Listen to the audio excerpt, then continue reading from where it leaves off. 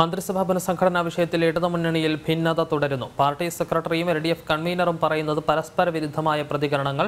പുനഃസംഘടനയും മന്ത്രിസ്ഥാന മാറ്റവും ഉണ്ട് എന്ന് പാർട്ടി സെക്രട്ടറി പറയുമ്പോഴും വാർത്തകൾ വ്യാജമാണെന്നാണ് എൽ കൺവീനർ ഇ പി ജയരാജന്റെ പ്രതികരണം.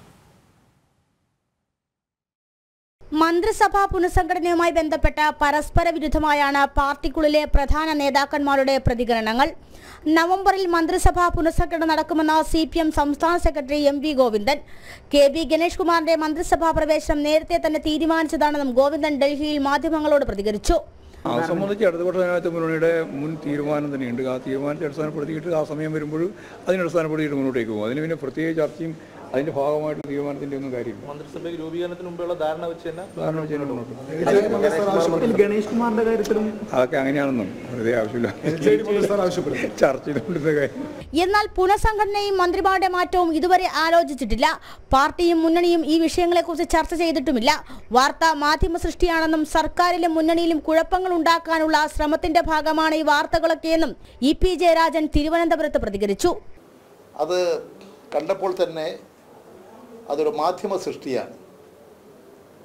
അതിന്റെ അത് ഇടതുപക്ഷ ജനാധിപത്യ മുന്നണിയെയും ഈ ഗവൺമെന്റിനെയും കൂടുതൽ ആശയക്കുഴപ്പത്തിലേക്കും പ്രശ്നങ്ങളിലേക്കും കൊണ്ടുപോകാനും ഈ ഗവൺമെന്റിന്റെ ഭരണ നേട്ടങ്ങൾ ഈ ഗവൺമെന്റിന് അനുകൂലമായി രാജ്യത്ത് വന്നുകൊണ്ടിരിക്കുന്ന മാറ്റങ്ങളെ കഴിയുന്നത്ര ദുർബലപ്പെടുത്താൻ സാധിക്കുമോ എന്നതിന്റെ ഒരു ഭാഗമായിട്ടാണ് ഇത്തരം പ്രചരണങ്ങൾ അഴിച്ചുവിട്ടുകൊണ്ടിരിക്കുന്നത്.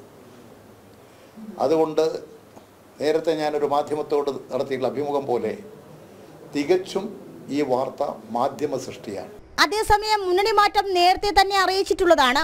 പുനഃസംഘടന നടത്തുന്നില്ല എങ്കിൽ മാത്രമേ അത് വാർത്തയാകുന്നുള്ളൂ എന്നും രാഷ്ട്രീയ സാഹചര്യങ്ങളുടെയും സംഭവ വികാസങ്ങളുടെ അടിസ്ഥാനത്തിലായിരിക്കും മുന്നണികളുടെ തീരുമാനമെന്നും മന്ത്രി ആന്റണി രാജുവും പ്രതികരിച്ചു.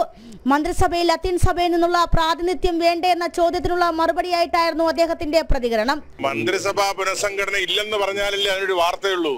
മന്ത്രിസഭാ പുനഃസംഘടന ഉണ്ടെന്നുള്ളത് രണ്ടര കൊല്ലം മുമ്പേ പറഞ്ഞ കാര്യത്തിന്റെ ഒരു പുതുമ എന്താ അതിനകത്തിരിക്കുന്നത്?